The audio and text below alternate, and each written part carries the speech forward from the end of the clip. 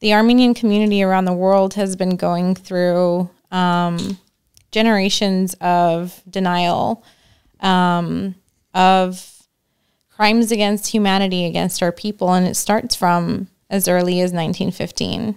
And um, during that time, the Ottoman Empire essentially sent their own soldiers to kill and wipe out all of our Armenian people.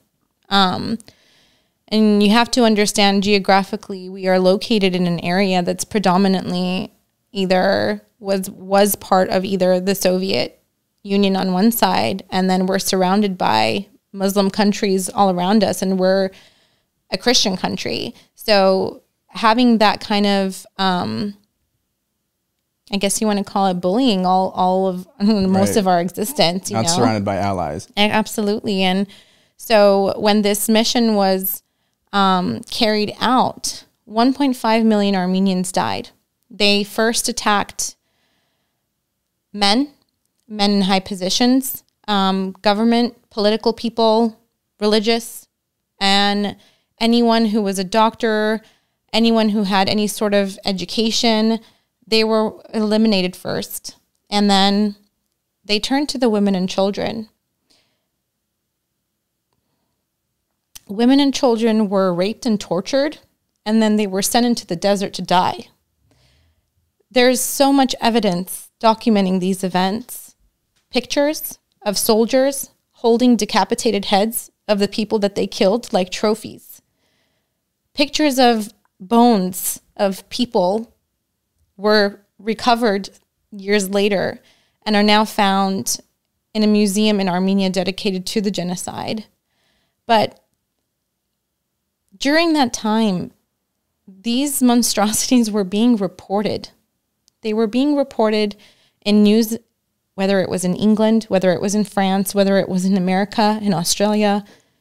These, these killings were being reported and nobody was doing anything about it.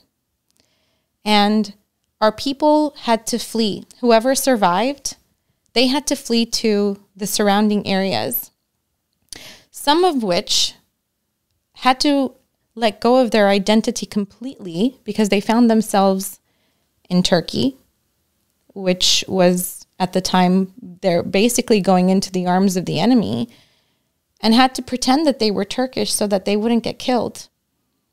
They let go of their faith in public, but they secretly kept their faith and their culture, but they essentially had to hide while they were living just so that they could survive. And moving forward, the history of our country, we've just never had a chance to breathe, even since then. We fell under the Soviet rule because they were literally our only allies and were the only country that could protect us. But unfortunately, that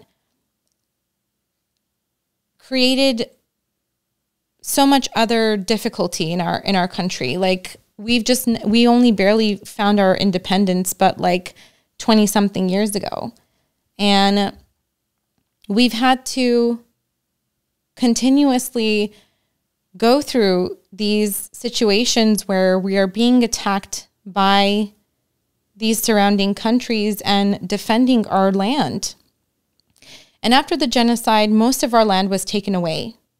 If you look at geographically maps of what our, the Armenian Empire used to be and what it is now, we have probably like one twentieth of the land left.